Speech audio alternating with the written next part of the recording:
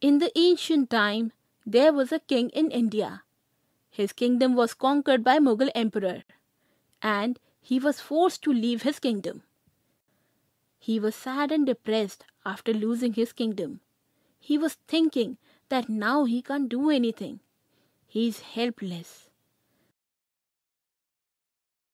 Soldiers of Mughal dynasty were searching for him. He was looking for a place where he can save his life from the soldiers. By spending a whole day, at last he found a cave in the forest. He was injured and tired as well. He collected some sticks and used them for a bonfire. He was trying to sleep but he couldn't sleep because his kingdom was conquered by someone else. Suddenly he saw an ant was trying to climb the wall with a huge piece of bread, but eventually she couldn't climb it. She climbed halfway, but fallen to the ground. The ant has tried again and again. She was not losing hope. King was counting her attempts.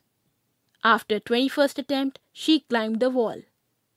From that ant, the king was very much inspired, and he decided that he will get back his kingdom again from the Mughal dynasty. He rebuilt his army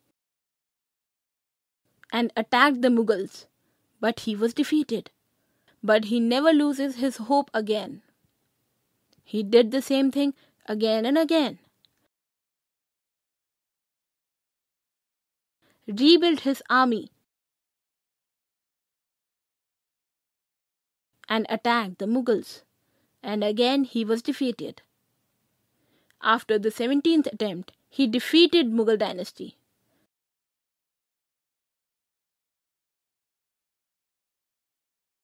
and taken his kingdom from them.